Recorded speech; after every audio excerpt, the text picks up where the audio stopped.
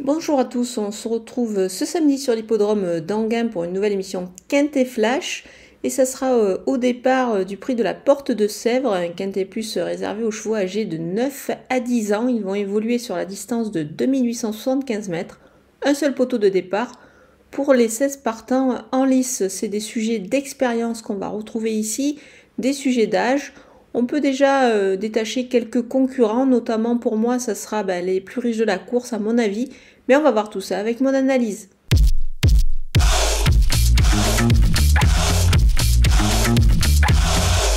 On attaque avec mes bases et le numéro 16, Dorune Bin. Il est à 80 euros du plafond des gains. On peut dire que l'engagement est vraiment idéal dans cette épreuve pour lui. Alexandre Brivard est au sulky, il est en forme pour moi, il vise la gagne. Le numéro 15, Cynthia, euh, elle est en vraiment super forme en, ce moment. Elle aussi bénéficie d'un bel engagement. Elle, est, elle fait partie évidemment des plus riches de la course. Avec une course cachée, je pense qu'elle ne devrait pas taper loin du tout.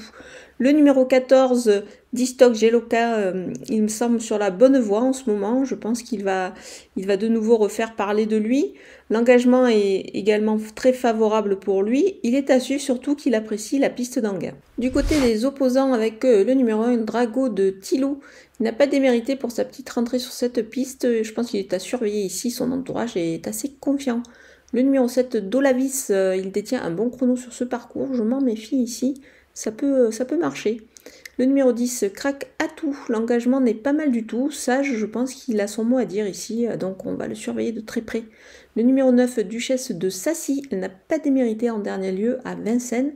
Je pense qu'ici elle peut briller, son entourage euh, est plutôt confiant avant le coup. Mon coup de poker, c'est le numéro 6, Cotton Club. Euh, il revient bien après avoir longtemps été arrêté. Euh, je pense qu'ici, il, devrait se montrer à son avantage, surtout que son entourage a fait appel à David Thomas pour le driver. On peut dire que c'est plutôt bon signe avant le coup. On poursuit avec euh, les outsiders et le numéro 3, Coucou j'arrive. Il a deux courses dans les jambes euh, après avoir été longtemps absent. Euh, Mathieu Abrievard l'a déjà drivé, c'était il y a un petit moment de ça. C'est d'ailleurs avec lui qu'il a gagné bah, tout simplement sa dernière course. Donc dans ce lot quand même, je, m'en méfie un petit peu pour une place.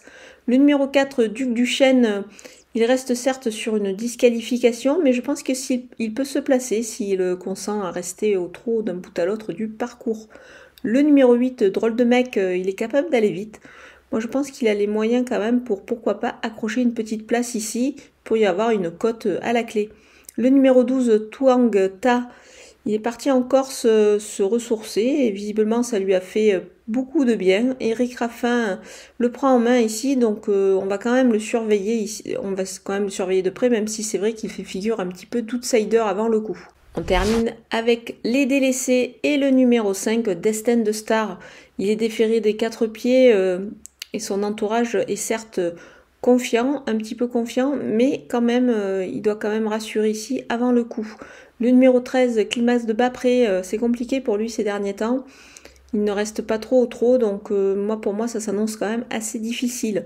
Le numéro 11, Dioline de Lexlor, elle est ferrée et elle doit rassurer, donc euh, bah, pour moi c'est tout simplement non.